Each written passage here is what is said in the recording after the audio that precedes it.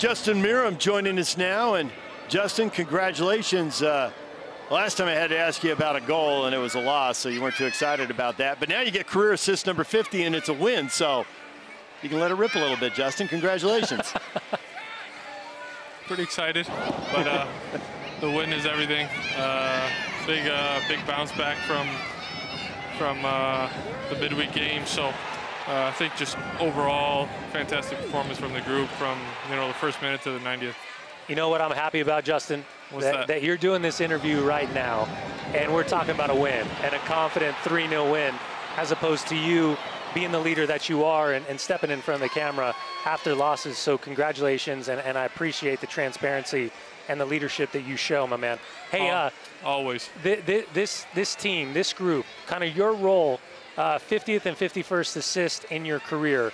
Uh, I would assume every time you step on the field or you're preparing for a match, you want to play from the opening whistle, but sometimes coaches make decisions and roles are forged. How did the offseason look like for you from what your role was last year and how you've taken advantage? And I was saying during during the broadcast, I mean, if, if Pablo's picking his starting 11, you're absolutely one of the first names on the sheet.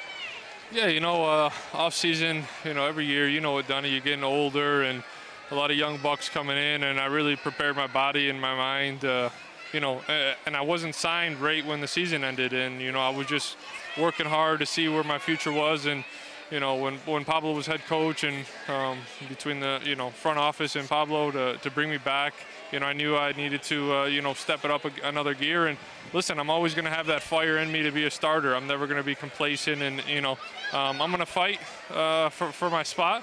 And if my role is to come off the bench, then that's my absolute role. And you know, I did that um, pretty well last year. And right now, it's to uh, you know start from uh, minute one, and I'm going to take that role and do it to the best of my ability. And you know, uh,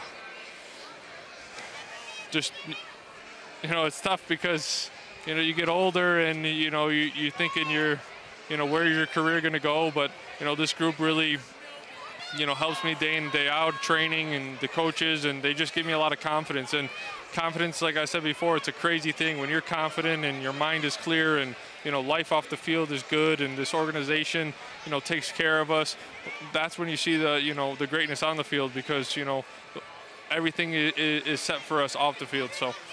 Can, can we get Sebastian a homegrown contract? I don't know, man.